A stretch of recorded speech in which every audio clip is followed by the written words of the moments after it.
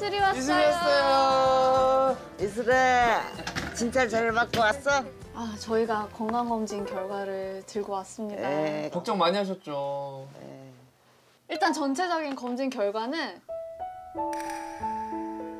아, 좀 그래도 좀 잘 나왔으면 좋겠는데. 지금 알고 계셨던 대로 심장병이 있어요. 음. 이천판 판막 질환이라고 해서 지금 자신방이 굉장히 많이 확장이 돼 있고요.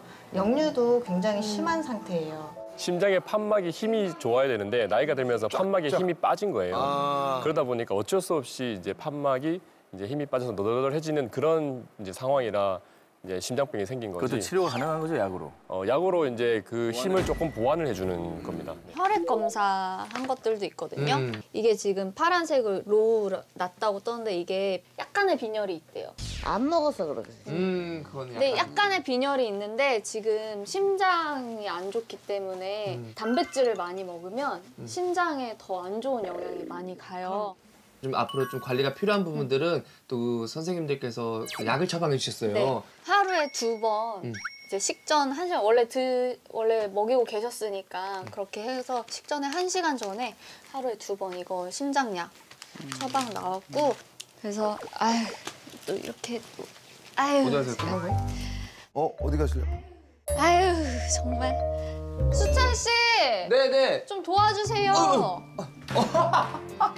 앞에 앞에 들어줘. 뭐야? 뭐야, 뭐야, 뭐야, 뭐야, 이게 뭐야? 우와. 아, 이슬, 이야. 이슬이 선물인가 보다. 오늘 이슬이 생일이네요.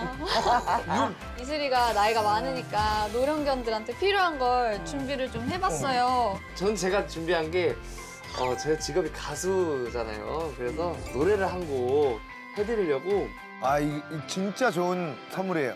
좋아하셨겠네. 공연도 한 다섯 곡 이상 하는 공연 때만 뽑는 건데, 제 custom 마이크를. 저도 신기했어요. 가수는 이 박수를 먹고 사는 직업이다 보니까 뭔가 박수가 좀 나와줘야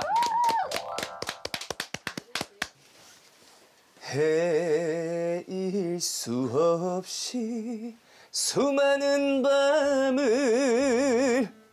내 마음 도려내는 어, 이슬이가 동백을 씨 아는 것 같아요. 겨워 얼마나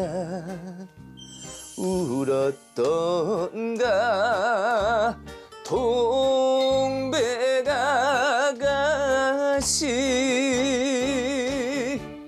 아 여기까지 하겠습니다 아, 텔레비에서 하는 거랑 똑같네. 그래요? 까불까불. 저 실제로 아유, 기분이 너무 좋아. 이렇게 웃어본 적이 요새 요 근래 들어서 처음이야.